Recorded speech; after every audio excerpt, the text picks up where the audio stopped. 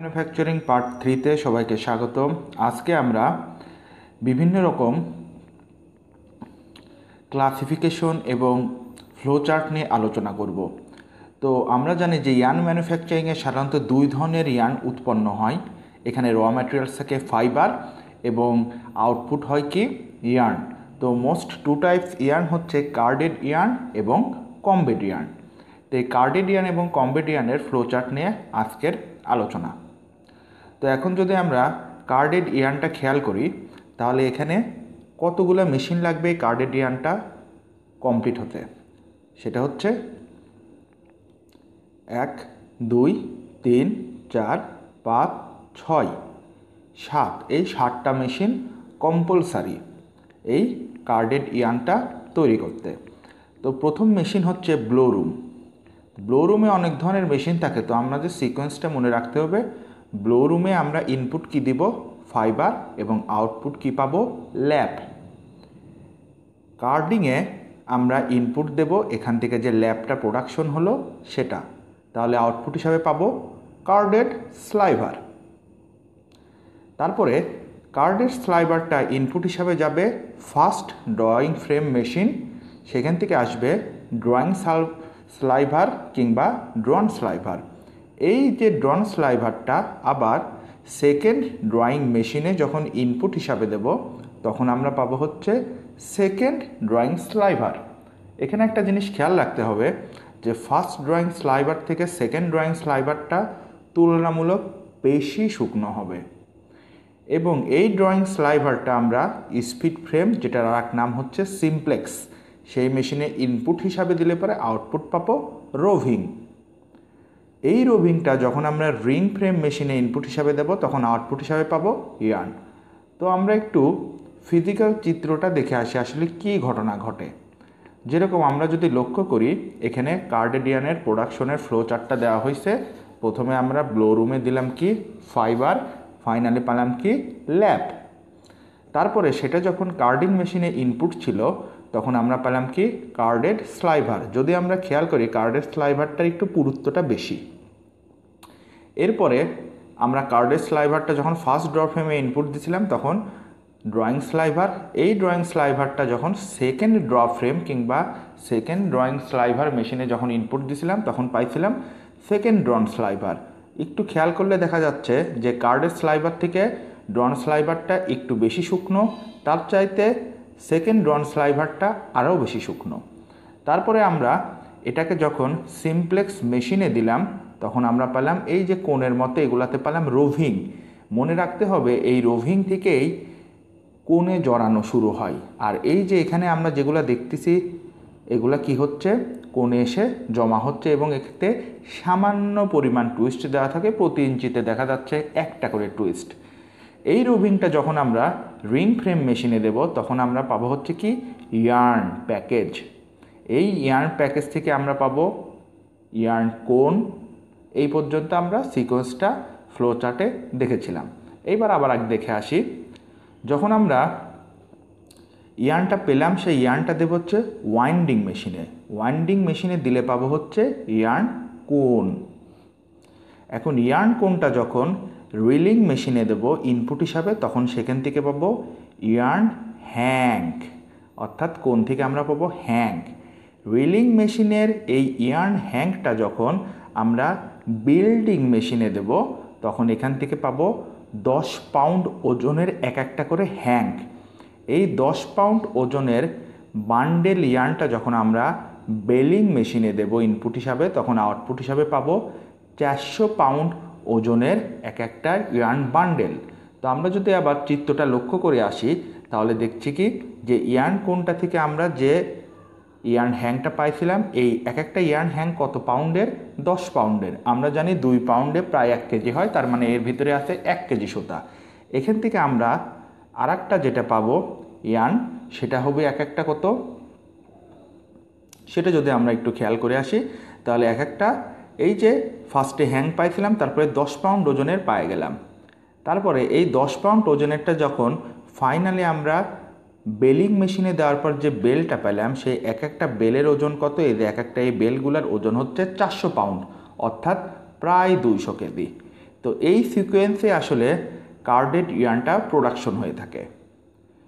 তো সিকোয়েন্সগুলো আবার যদি আমরা ভালো মতো লক্ষ্য করি তাহলে সেই ফ্লো চার্টটা আমাদের মুখস্থ রাখতেই হবে এবং ফ্লো চার্টের সাথে সাথে আমরা যদি একটু চিত্রগুলো সূক্ষ্মভাবে খেয়াল করি, কোনটা কীরকম, তাহলে আমরা বিষয়টা বুঝতে পারব। এখানে একটা বিষয় লক্ষণীয়, কিছু কিছু সমস্যা দেখা যায়, যেরকম কার্ডের স্লাইভার যেটা যেটা ড্রন স্লাইভার দুটা দেখতে একই রকম। সেজন্য কোনো কোম্পানিতে গেলে দেখা যায়, এই যে যে ক্যানের ভেতরে স্লাইভারগুলো রাখা হয়, যেগুলো কার্ডিং মেশিন থেকে পাওয়া কার্ডের স্লাইভার সেই ক্যানগুলো একটু কালারিং করে দেওয়া হয়। যেরকম আমরা এখানে দেখলাম কি রেড কালার ওদের কালার কোড দেওয়া থাকে যে লেড কালারের লোগোযুক্ত ক্যানে থাকবে কার্ডের স্লাইবার আর বিশেষ করে এই যেগুলো ড্রন স্লাইবার হয় ড্রন স্লাইভারের কোটেশনগুলো থাকে ব্লু এবার আমরা কমবেড ইয়ার্নের ফ্লোচার্ট নিয়ে আলোচনা করব।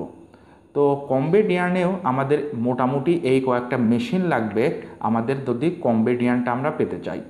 তো এখানে যে মেশিনগুলো কম্পালসারি সেগুলো হচ্ছে blowroom carding first or pre comber drawing super lap former আমাদের মনে রাখতে হবে যে কার্ডেড আর কম্বেড ইয়ার্ডের ভিতরে দুটা মেশিন পার্থক্য সৃষ্টি করে। কার্ড সেটা হচ্ছে সুপার ল্যাব ফর্মার এবং এই কম্বিং সেকশনটা এটা কিন্তু কার্ডেড ইয়ান যখন আমরা প্রোডাকশন করেছিলাম, যদি আমরা আরেকবার দেখে আসি, তাহলে আমরা সূক্ষ্মভাবে খেয়াল করে দেখব যে এখানে কোনো কম্বিংও ছিল না এবং কোনো সুপার ল্যাব ফর্মারও ছিল না। তো এই দুটাই হচ্ছে কার্ডেড আর কম্বেট মেশিনের ভিতরে পার্থক্য সৃষ্টি করতেছে। তার মানে এই কয়টা মেশিন লাগবে, তার সাথে ফিনিশিং ড্রয়িং কিংবা সিমপ্লেক্স অথবা স্পিড ফ্রেম এবং রিং ফ্রেম এই কয়টা মেশিন কম্পালসারি আমরা যদি কম্বেডিয়ান পেতে চাই। তো এখানে আমাদের বরাবরের মতোই ব্লো রুমের ইনপুট কী হবে? ফাইবার আউটপুট পাবো ল্যাব কার্ডিংয়ের ইনপুট ল্যাব অর্থাৎ এখান থেকে যেটা আউটপুট পাবো, এখানে হবে কি? সেটা ইনপুট কার্ডিংয়ের যদি ইনপুট ল্যাব হয় আউটপুট হিসেবে পাবো কার্ডের স্লাইবার ফার্স্ট বা প্রিকম্বার ড্রয়িংয়ে ইনপুট হবে কার্ডের স্লাইভার আউটপুট হিসেবে পাবো ড্রয়িং স্লাইভার এই ড্রয়িং স্লাইভারটা আবার সুপার ল্যাব ফর্মার ইনপুট হিসাবে যদি দেই, তাহলে আউটপুট হিসাবে পাবো মিনি ল্যাব এই মিনি ল্যাবটা যখন কম্বিং মেশিনে ইনপুট দেবো আউটপুট হিসাবে পাবো কমবেড স্লাইভার এই কমবেড স্লাইভারটা যখন ফিনিশিং ড্রয়িং মেশিনে আমরা ইনপুট হিসাবে দেব, তখন আমরা পাবো ড্রয়িং স্লাইভার কিংবা ড্রন স্লাইভার এই ড্রয়িং স্লাইভারটা যখন স্পিড ফ্রেম কিংবা সিমপ্লেক্স মেশিনে ইনপুট হবে, তখন আমরা পাবো রোভিং এই রোভিংটা যখন রিং ফ্রেমে ইনপুট হবে, তখন আউটপুট হিসাবে পাবো ইয়ার্ন এই পর্যন্ত যদি আমরা একটু সিকোয়েন্সের চিত্রগুলো দেখে আসি, তাহলে বরাবরের মতো কি দেখতে পাচ্ছি? যে এখানে ফাইবার থেকে পাইলাম ল্যাব ল্যাব থেকে পাইলাম কি? তৃতীয় স্টেজে আমাদের পাওয়ার কথা কোনটা? তৃতীয় স্টেজে আমাদের পাওয়ার কথা হচ্ছে ড্রয়িং স্লাইভার তো এখন যদি আমরা দেখি, তাহলে এই চিত্রটা কিসের চিত্র? এই চিত্রটা কিন্তু আমাদের হবে ড্রয়িং স্লাইভারের চিত্র। তারপরে বরাবরের মতো যদি আমরা খেয়াল করি যে এরপরে কী পাবো? এরপরে আমাদের লজিক অনুযায়ী পাওয়ার কথা হচ্ছে মিনি ল্যাব তারপরে কমবেট স্লাইভার যদি আমরা চিত্রটা একটু ভালো মতো খেয়াল করি, তাহলে পরে আমরা দেখতে পাবো কি? এই যে এটা পেলাম। আর এই যে এই জিনিসটা আমরা যেটা পাচ্ছি এই জিনিসটাকে আমরা বলব মিনি ল্যাব আমাদের যে জিনিসটা আসলে এখানে মনে রাখতে হবে, এই মিনি ল্যাবটার সাইজটা কিন্তু অন্যান্য এই কমবেট স্লাইবার কিংবা ড্রন স্লাইবারের থেকে সাইজে ছোট। আমরা কোম্পানিতে যখন এক জায়গায় ছোট আকারের এরকম ল্যাবগুলা দেখব, তখন আমরা বুঝে যাব কি ওটা আসলে কম্বিং মেশিনের জন্য রাখা মিনি ল্যাব এখন যদি আমরা সিকোয়েন্সটা আবার ফিরে যাই, তাহলে দেখতে পাচ্ছি কি? যে এরপরে পাবো হচ্ছে মিনি ল্যাবের পর পাবো কমপ্লেট সাইবার তারপরে পাবো ড্রয়িং স্লাইভার তো এখন যদি আমরা একটু চিত্রে ফিরে যাই, তাহলে কমবেট স্লাইভার আর ড্রয়িং স্লাইভারটা কোনটা হবে? এটা হচ্ছে কমবেট স্লাইভার আর এটা হচ্ছে ড্রয়িং স্লাইভার একটু খেয়াল করলে দেখা যাচ্ছে, এই মিনি ল্যাপের চাইতে যেটা কমবেট স্লাইভার সেটা একটু বেশি শুকনো, অর্থাৎ স্লিম চিকন। তার চাইতে আমরা পরে যে ফাইনালি ড্রন স্লাইভারটা দেখলাম, সেটা আরও শুকনো এবং এগুলি একটু হালকা হালকা করে ফাঁকা ফাঁকা রাখা হয়েছে। এত কম্প্যাক্ট অবস্থায় রাখা নাই।